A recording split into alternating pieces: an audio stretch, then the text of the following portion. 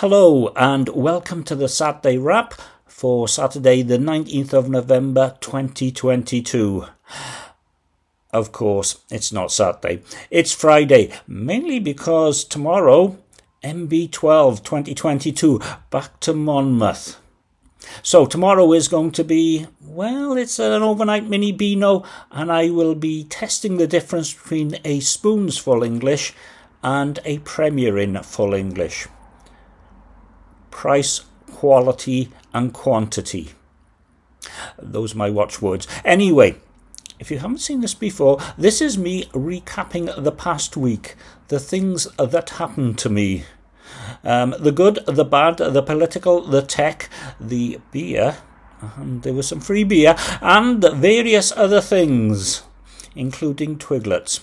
Anyway, um, if you have any comments, don't be afraid to get in touch. This will be on um, WordPress and Twitter, if Twitter is still there, and Facebook, MeWe, and various other places. Comments are welcome.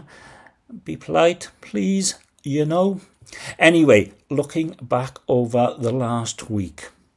And yeah, I'm using detail, I'm using the detail camera. There is cinegraphic, uh, cinematic blur uh, and it's 1080p. I did try 4K, but 4K uh, couldn't get cinematic blur with that. Anyway, the word or phrase of the week autumn statement. Another autumn statement.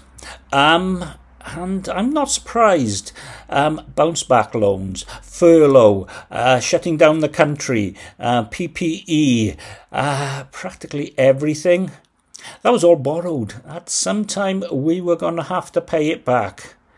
And boy, are we in a mess at the moment. But, you know, things um, and fuel. So there was one of those this week, and the ructions from that will probably go on and on. And I don't want to use the phrase kick the can down the road, but probably did actually. Uh, there you go. Anyway, the app of the week it's the Chase app. I have the iOS version. Um, it's like a bank account. Um, but you don't have to change your bank account to it. Um, you get a virtual debit card. Actually, you get a real debit card as well, and you get a um, savings account. I think it's two point one percent per month.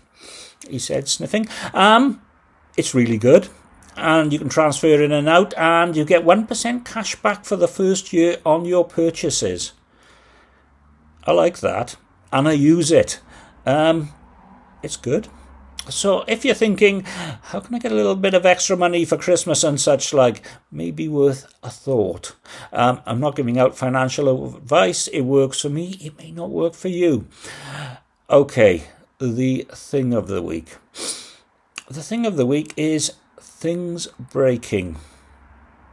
Okay, um, you're going along in life, and life is looking okay, and things are going well, and all of a sudden, bang, something breaks.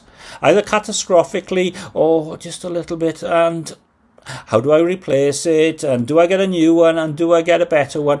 Mine wasn't particularly that bad.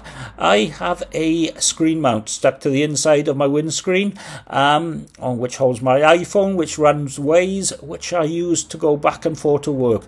Not because I don't know the way by now, but problems and jams and various other things, and it was fine. And then I went to put the phone in it on Monday night, and crack, the arms just which hold the phone just broke.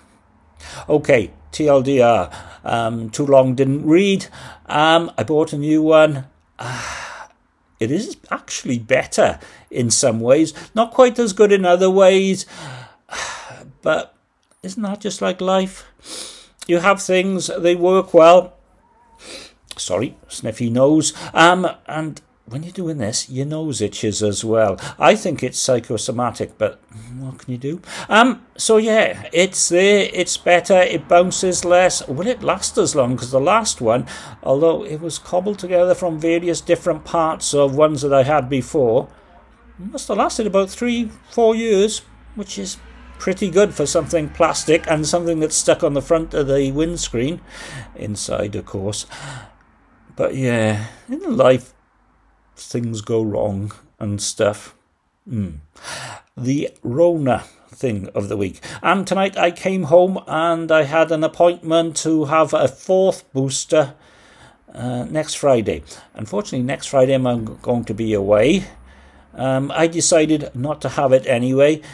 Uh, I know quite a lot of people who have had it, and I think the risks from the um, the boosters are probably slightly significantly higher than the roof, risks from the Rona. Now it's got far more. Well, it's more.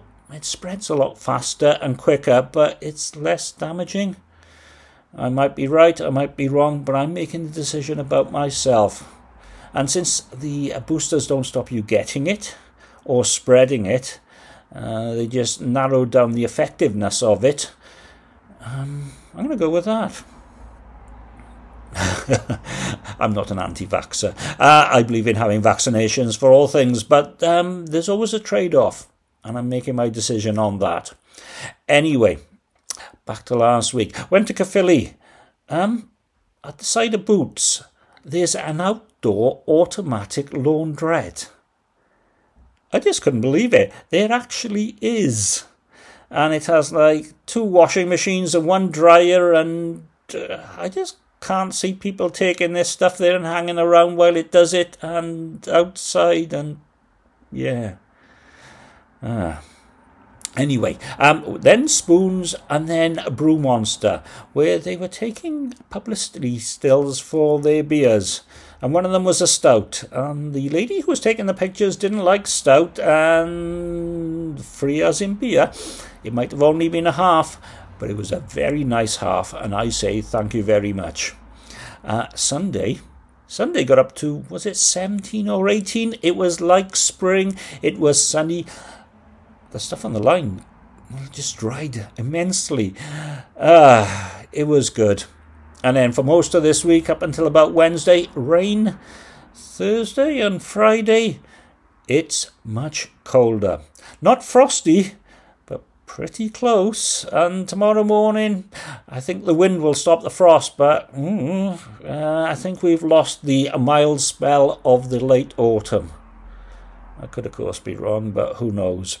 Um, yeah, and also on Sunday, an article about avian flu, which we have. Uh, but apparently in Wales, we let um, the avian flu people, uh, chickens and turkeys, and that outside, and in England, you keep them in to stop it spreading, which is a bit of a reverse on what we do with humans.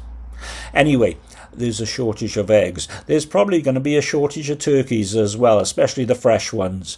And spoons, amongst other places, um, maybe running out. So they are offering extra sausages, extra hash browns, and maybe extra onion rings.